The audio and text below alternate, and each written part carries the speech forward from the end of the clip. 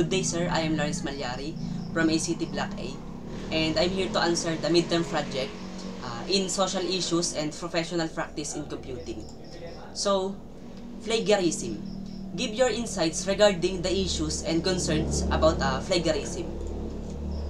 So, plagiarism compromises uh, academic integrity and disregards intellectual property rights. Providing an unfair advantage, uh, it hampers uh, learning and skill development. Um, plagiarism has a significant consequences, eroding confidence and trust. Uh, it is uh, crucial to promote education and awareness. Uh, so, address technology issues and implement implement preventive and detection measures. By doing so, we can we can foster uh, an ethical and fair uh, environment for learning and knowledge development while protecting uniqueness and respecting intellectual property. So that's it po. Thank you po.